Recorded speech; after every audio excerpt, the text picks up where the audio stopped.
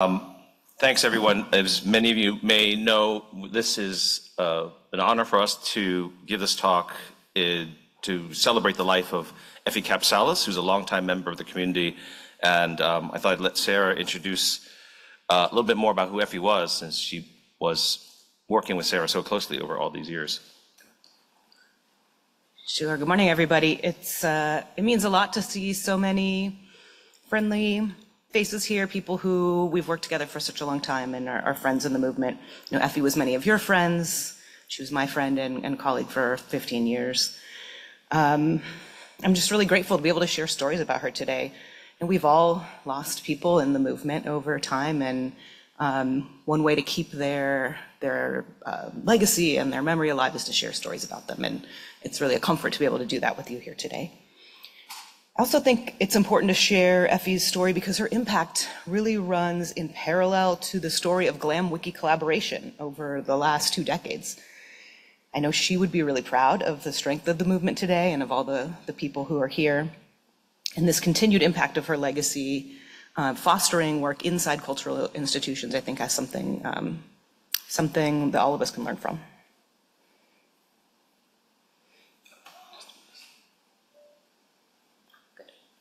Yeah, one of my main connections with Effie uh, when I first started doing GLAM Wiki work was how generous she was as um, the main person at Smithsonian Institution Archives who recognized the power of collaborating with this wiki community. Right? Um, and we'll go over a little bit uh, in later on, but it was not a given that museums and libraries would look at Wikipedia and go, "Oh, there's someone we should work with."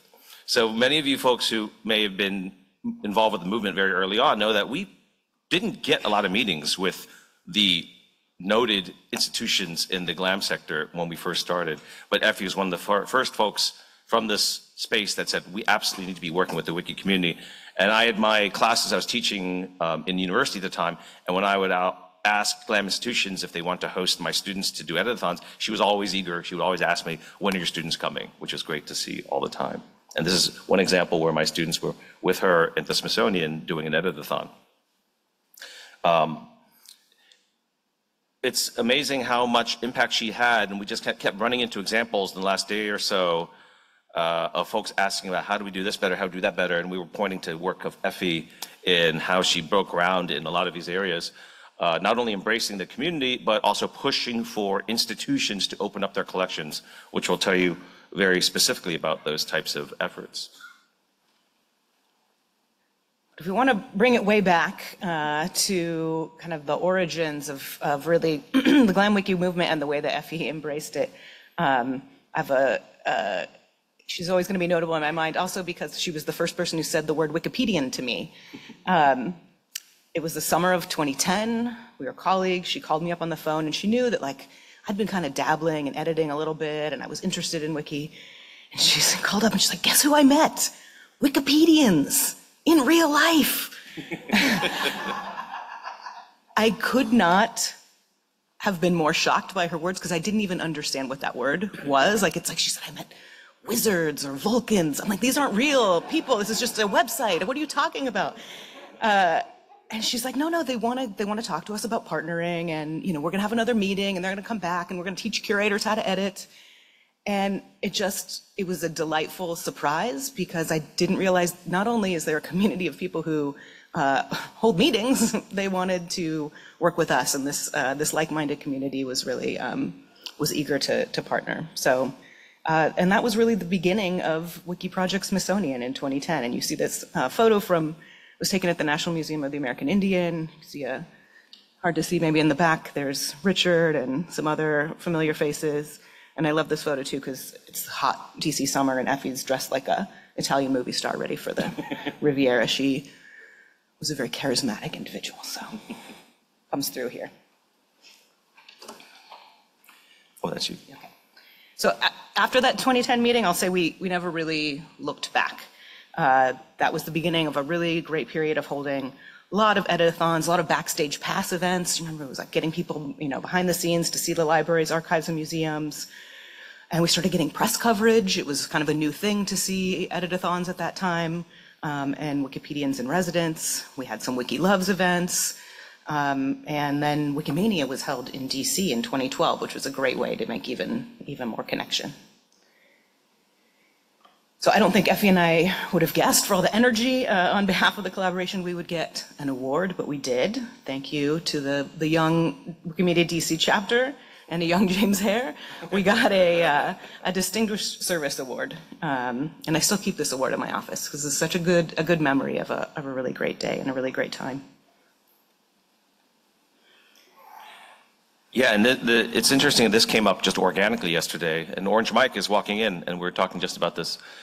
I don't know if everyone knows, but Effie was a major force for not just evangelizing Wiki inside Smithsonian and other GLAM institutions. She was a force for getting museums and libraries to open up their collections. So we now have the term open access that's constantly passed around in the museum world, but it wasn't that common back then.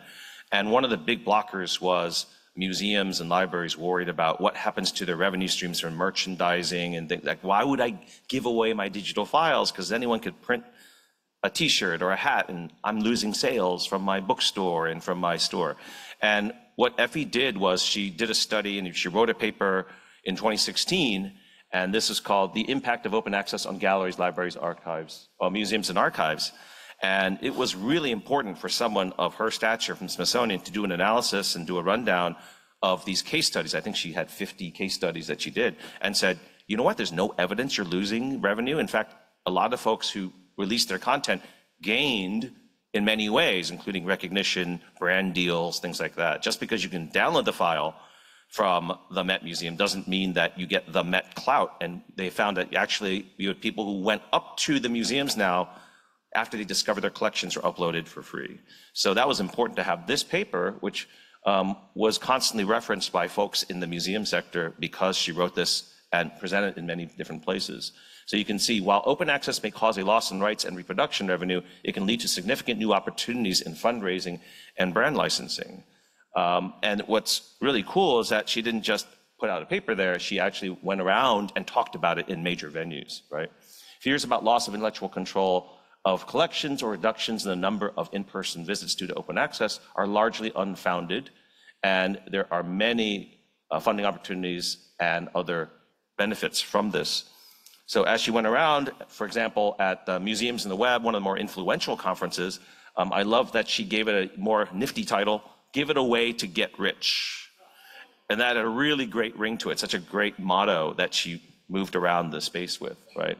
Um, so this is in front of the major museums in this space.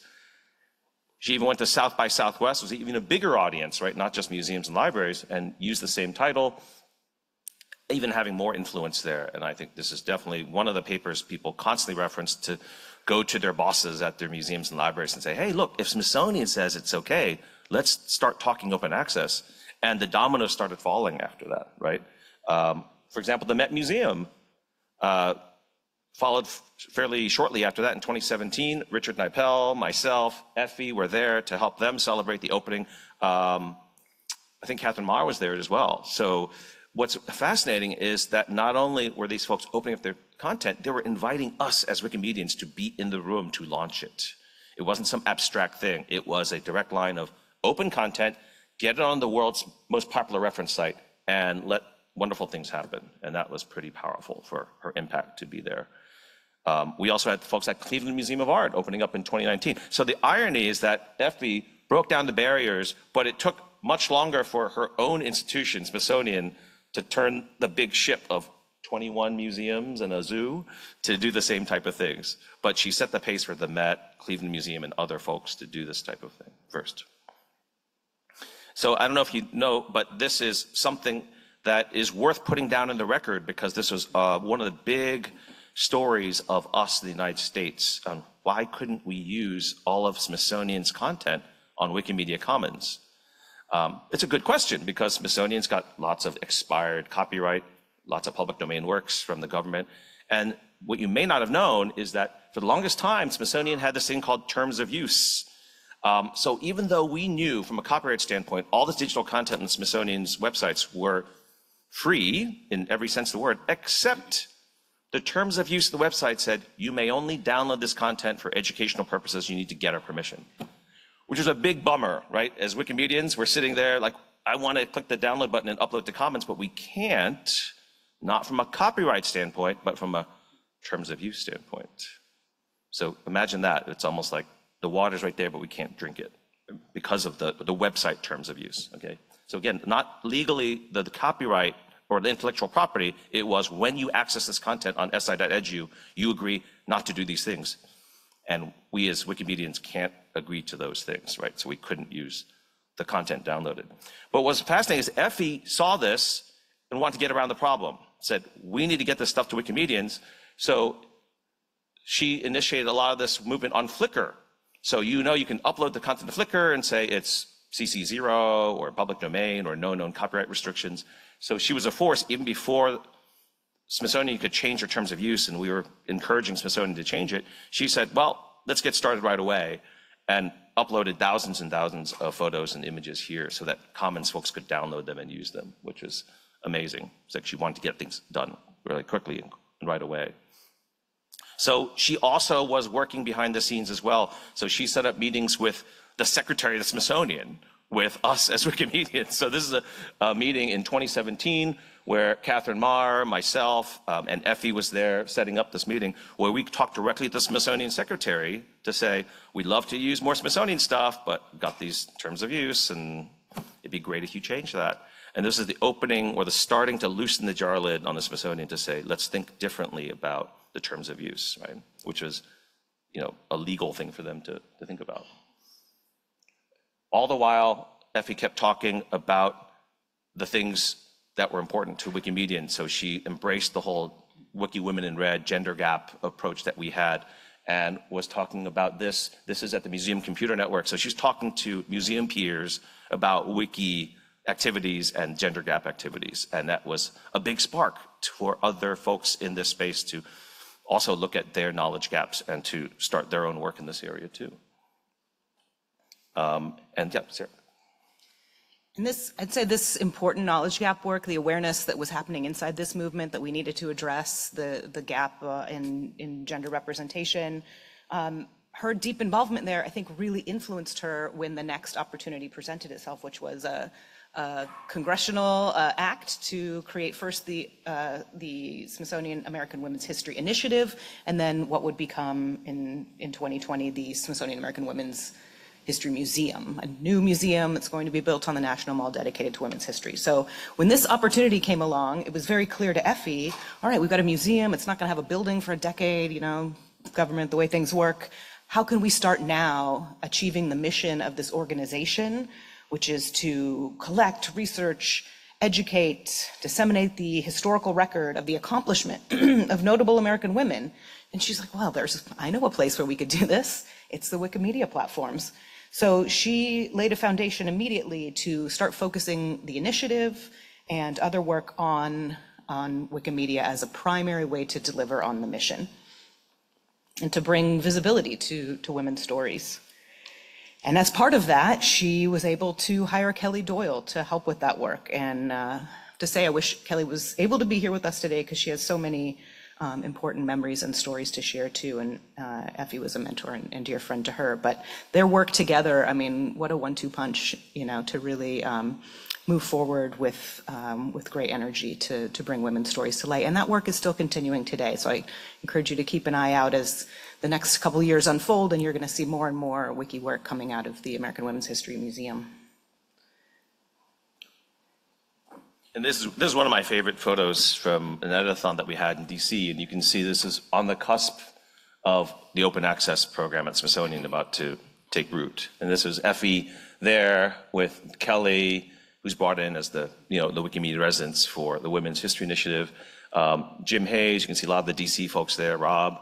And it was just such a great time when we were starting to do so much gender gap work and open access was, was about to come around. So you can even see some ex-Wikimedia Foundation employees in there as well. Um, so finally, February 25th, 2020, um, Smithsonian launches open access. You can see Katherine Maher was there, Ben Vershbow was there. We had so many folks that were there that they, they brought in. We even had a little booth demoing Wikidata, knowledge graphs, and things like that. It was, it was great. Um, we had the secretary of the Smithsonian launch that, and Um, what I didn't even realize until we're researching this, I remember it, but barely, is that Effie actually made a dress. So you notice her dress there it was made from an open access image of an eclipse. So she made custom clothing for her whole family that night, right? Out of open access materials. So that's pretty amazing. And we just had a, a great time there.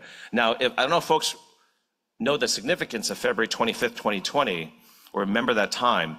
It was like one week before COVID slammed everyone. And we can kind of like look back and kind of grin and smile, but it was weird. Because within weeks of that event, Smithsonian would shut its doors for almost two years, so no one could walk through the doors of a Smithsonian museum. So what a strange and amazing time for open access to launch, and then Smithsonian saying, oh, you can't visit our museums for the next two years.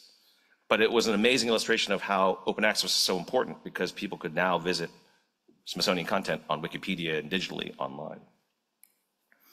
Um, I thought I'd just throw this in here as some of the stats. When we launched Open Access Smithsonian, it was 2.8 million um, digital assets, and then now we're up to 5 million as of today, um, and growing. So I don't know if Ryan is in the audience here. Ryan there, Ryan from Smithsonian here is the manager for Open Access, and he's done an incredible job to continue this legacy of Open Access program from, uh, from Effie going forward.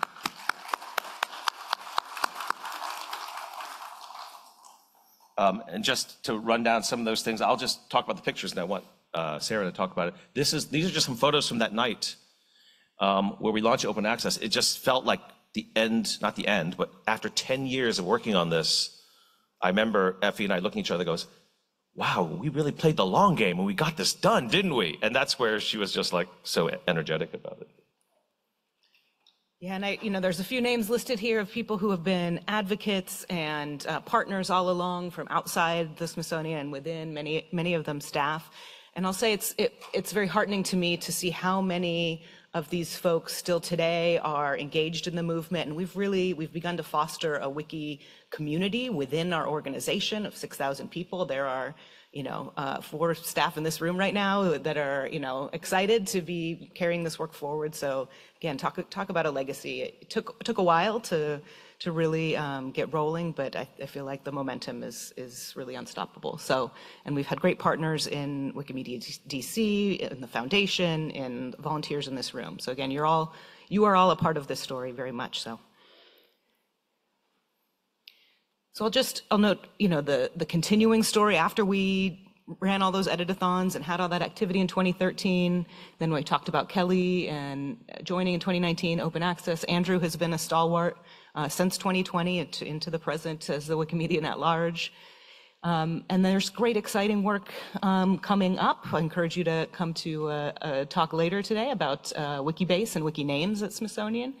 Um, we've started an actual kind of meetup group, uh, Wiki Allies. It's sort of an internal um, club where we're trying to foster Wikimedian skills and activity within the organization. And I'm thinking a lot now about how to, what kind of a model could that be for organizations to not just bring Wikipedians or Wikimedians in residence, but also like mint them from within. How do we foster a community um, and really encourage that growth um, to, to meet the, the need of, of the expertise that we really need? Because one Wikimedian in residence isn't going to be enough in most organizations. We need to be the Wikimedians ourselves.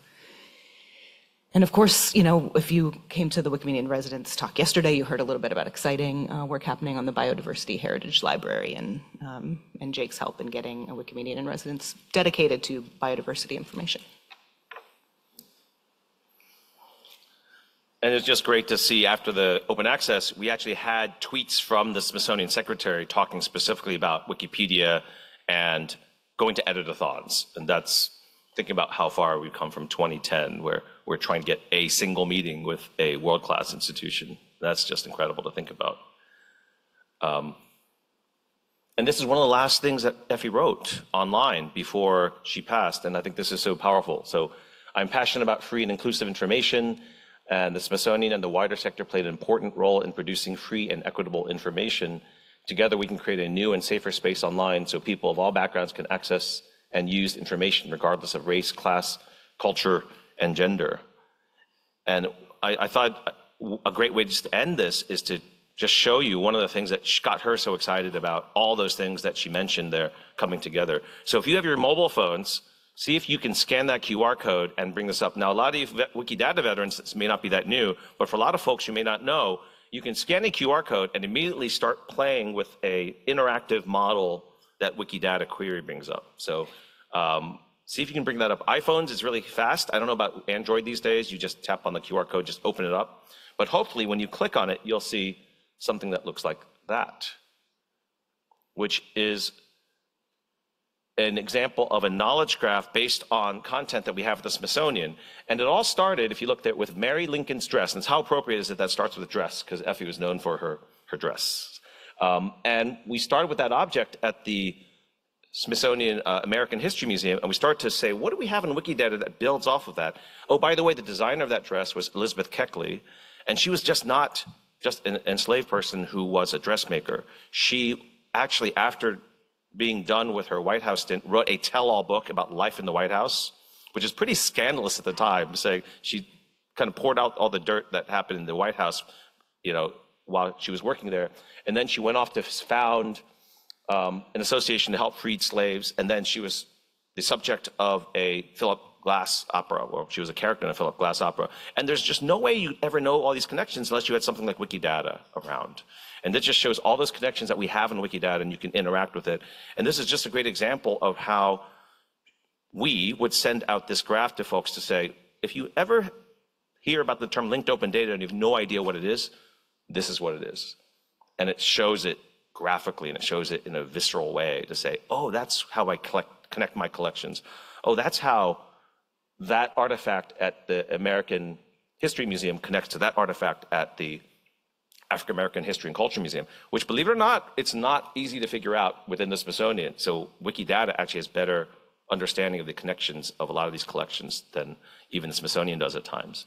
So I, I just love this because Effie likes showing this as the reason why we do our work is to show the interconnectedness of the culture um, that we have. You know, we alluded to the change that happened with the pandemic, and it certainly took a huge toll on on all of us, uh, and certainly on on cultural institutions and GLAMs. And it's a sort of uh, it's an irony because there were so many terrible things that impacted people. The the revenue that were lost for organizations meant that some museums had to close their doors forever. There is still a strain on staff and and resources and a, a real toll on the mental and physical health of workers. Um, at the same time, these organizations were pushed to accelerate their adoption of digital technology. If anybody was telling you digital wasn't important in 2019, they've certainly changed their view now and they understand how important it is to be present in this in the spaces people occupy. So it's a new day and a new opportunity for us, I think, as Wikimedians to once again knock on those doors and find out where we can um, partner, where we can be of service, where we can um, can really, you know, achieve our shared goal of of increasing access to knowledge for everyone. So it's a good moment for um, for us to re-engage with with GLAMs as they emerge post-pandemic. And this is our last slide. Yeah. So th- thank you for for helping us remember Effie's legacy. You know, this is just one of our favorite photos of Effie speaking at the Museum Computer Network about the gender gap in Wikipedia and how Smithsonian is working on this. It just shows so many great aspects of Effie. She's dressed like Rosie the Riveter in denim. She's who wore a denim jumpsuit to this talk, and it was great. Um, is in front of a whole crowd of museum professionals. Uh, I love how powerful her hand is holding the microphone, but also trying to explain folk, to folks the passion of what she's doing, which is just classic Effie. So uh, thanks for um, remembering her legacy. And there's so many people in this room that have worked with her in some way or another. And uh, I hope you'll keep her legacy alive. Thank you.